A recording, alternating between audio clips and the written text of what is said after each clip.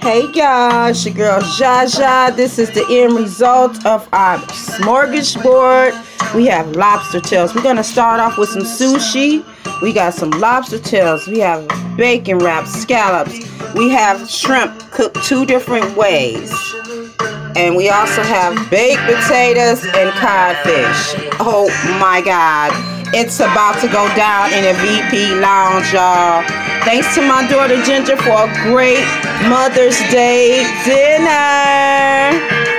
I love my child. Oh my God, this is gonna be so good. I'll see you guys later. Oh, my niece is here. Oh, she came by. Oh, happy Mother's Day, beautiful. You too. You would you like to try some of this stuff?